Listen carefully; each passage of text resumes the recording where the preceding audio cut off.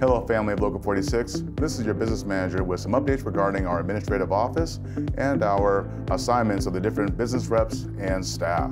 First, our wonderful local aid staff. We, we have some new faces you'll see around the building. First, if you've come into the administrative side of the building, you've seen some COVID screeners on both the admin side and the dispatch office. We welcome Sister Narika Ray that you've seen on the admin side. She is our new Assistant COVID Supervisor, working with Brother Warren Schill. We also like to welcome Sister Malaya. She's working on the dispatch entrance to the building and is working to screen people, our guests, members, and others to keep them safe as they come into the building. We have two additional COVID screeners and admin office assistants that have joined our wonderful local aid team. We have Sister Sarah Bailey and we also have Sister Whitney Wagner. Both of them have come to us with an extensive background in administrative professionalism and customer service. So as you see these wonderful sisters, please welcome them to our family. And if you have any questions, you can contact them directly through the mobile app, a Local 46 website, and their direct contact information. For the last several months, we've gone through the process for the new staff organizer and the open membership application process. This concluded a couple months ago, and Brother Bo Engelbert has come on board.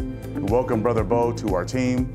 He's volunteered for many committees, many organizing activities, many other functions for many, many years. He's been a shop steward with Local 46, and he's helped out the staff in many capacities. So he's been a great addition to the team. We welcome him on board, and when you see him around the hall or on your job site, please welcome him and reach out to them directly. If you have any questions, any organizing leads, you have any friends or other acquaintances that are working non-represented, please let Bo know, and he'll come out there and talk to them directly.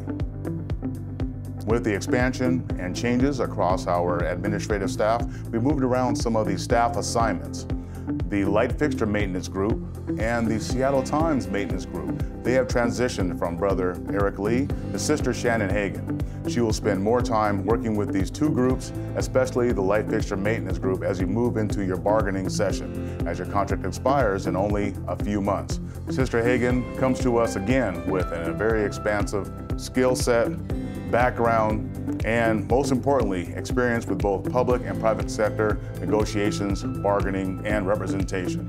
And she will do an excellent job serving both of these groups well going into the future for many years to come.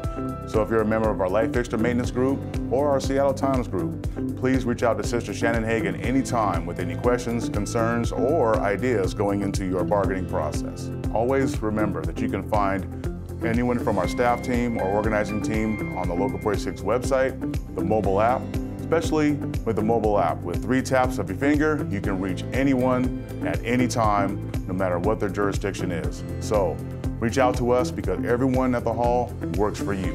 Thank you for your time. Take care, stay safe, and we'll see you soon.